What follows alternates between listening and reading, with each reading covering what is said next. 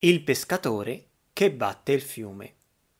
Un pescatore pescava in un fiume e avendo teso verticalmente una rete che così attraversava da una sponda all'altra la corrente, legato a una pietra una corda di lino, cominciò a battere l'acqua, affinché i pesci fuggendo incampassero inevitabilmente nelle maglie della rete. Ma uno degli abitanti del luogo, vedutolo mentre faceva ciò, lo rimproverò perché rendeva torbida l'acqua del fiume e impediva loro di berla limpida.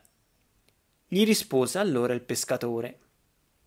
Ma se il fiume non viene così agitato, io dovrò morire di fame. Così anche i demagoghi della città, allora soprattutto, realizzano i loro affari quando hanno gettato nella discordia il loro paese.